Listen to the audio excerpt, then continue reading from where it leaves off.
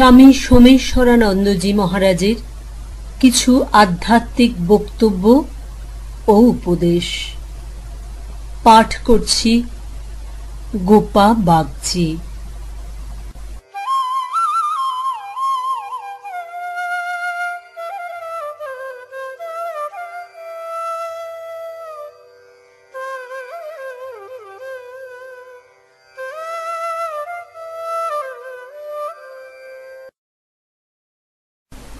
প্রশ্ন।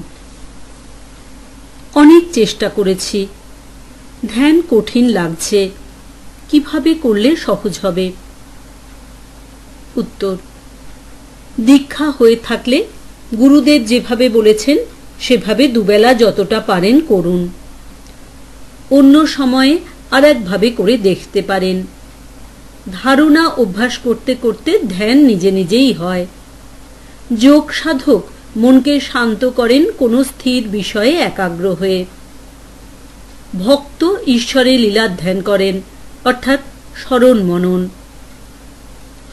জ্ঞানমার্গী বেদান্ত বিচার করেন। ধ্যান শেখার ক্লাস বইয়ে বিভিন্ন পদ্ধতির আলোচনা আছে। আপনি অভ্যাস করে দেখুন কোনটি সহজ লাগে আপনার। চোখ বন্ধ করে ইষ্টের কল্পনা করা, যেমন ছবিতে বা ফটোতে আছে কিংবা তাঁর লীলার ধ্যান করা। যেমন, বৃন্দাবনের কোনো ঘটনা বা দক্ষিণেশ্বরে ঠাকুরের সাথে আপনি কথা বলছেন, বেড়াচ্ছেন, অথবা মা কালী বা দুর্গার কাহিনী ইত্যাদি।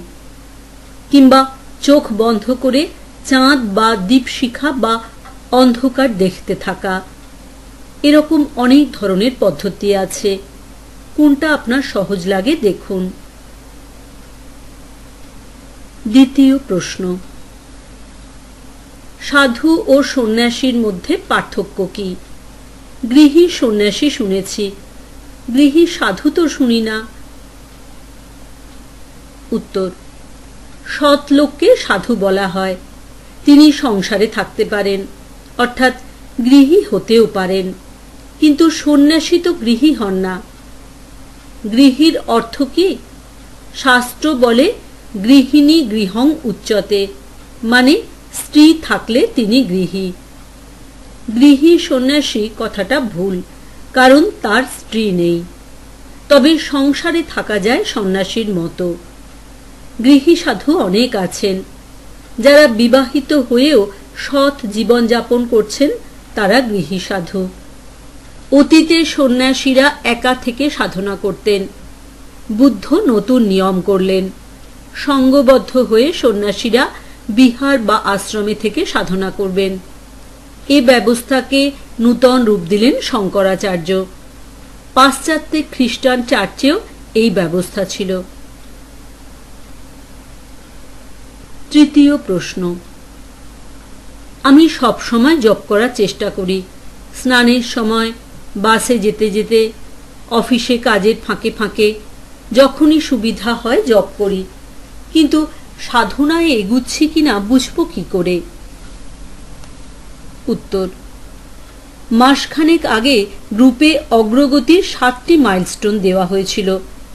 ওইটি মিলিয়ে দেখুন, বুঝতে সুবিধা হবে। এছাড়া একটা ছোট পরীক্ষা বা মূল্যায়ন পদ্ধতি বলি। দেখুন, বিভিন্ন পরিস্থিতিতে মন আগের চেয়ে শান্ত থাকছে কিনা। অশান্ত পরিবেশ ঝামেলার কাজ, ব্যর্থতা ইত্যাদিতে নিজেকে শান্ত রাখতে পারছেন? রাগ, দুঃখ, হতাশা আগের চেয়ে কম হচ্ছে?